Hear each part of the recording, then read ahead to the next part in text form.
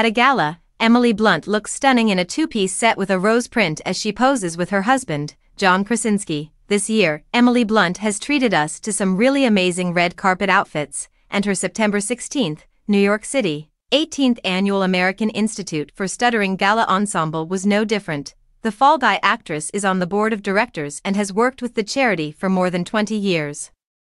Over the years, she has hosted the gala multiple times, including Monday night's event.